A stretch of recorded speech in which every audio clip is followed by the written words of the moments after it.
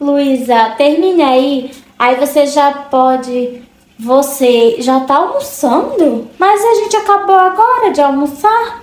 Eu tava te procurando. Eu tô almoçando já. Sim, aí você mexeu nas panelas. Não, eu não peguei essa comida da senhora, não. Essa comida aqui foi de casa. Eu trouxe. Ah, sim, entendi. Mas mesmo assim, me faça uma gentileza.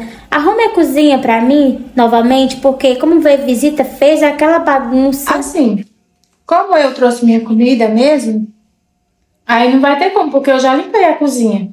Eu não vou mais voltar por lá. Olha, eu deixei comida pra você, deixei sobremesa.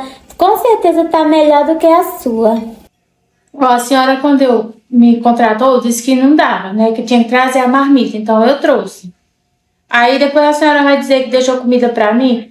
Não, eu tô achando que a senhora queria mesmo era que eu limpasse a cozinha, lavasse as panelas. Mas como eu trouxe a minha comida, então eu não vou lavar não, tá? Porque até meu prato eu vou levar pra casa sujo. Porque para não gastar a água aqui da senhora.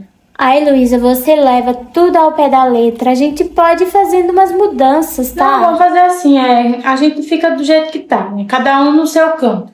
Não é à toa que eu tô comendo até aqui na lavanderia, né? Pra, pra não incomodar vocês. Ai, não acredito que eu vou ficar com aquela pilha de louça pra lavar.